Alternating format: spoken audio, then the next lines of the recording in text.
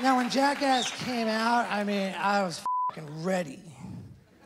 First thing I did was I moved out to LA, and when I got there, we jumped on an airplane and flew to Europe to go film a special episode racing cars through all these countries.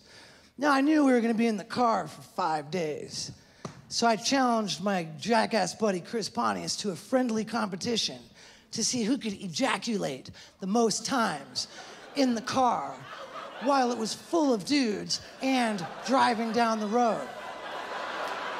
Those were the rules. So the race begins in London, England. Fireworks go off. The cars peel out. Pontius and I start tugging. But it was broad daylight outside, and our buddies were wide awake. We couldn't even get boners. But that didn't stop us. We are yanking on our wet noodles, just giggling. Ah. And London's got all those double decker buses, so every one of them that goes by, everybody on the top deck is just looking right down.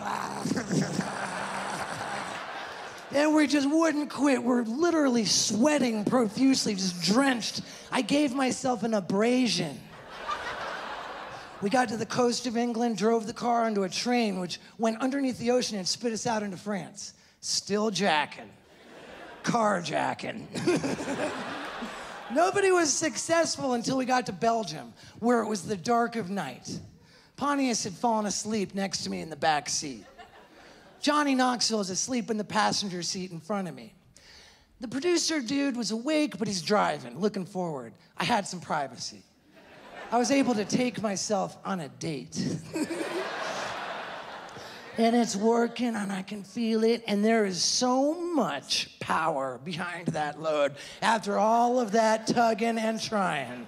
When I finally blasted it into that car window, it's a wonder I didn't break the thing. I mean, it was like I shot it with a bunch of paintballs. Just bow, bow, bow, bow.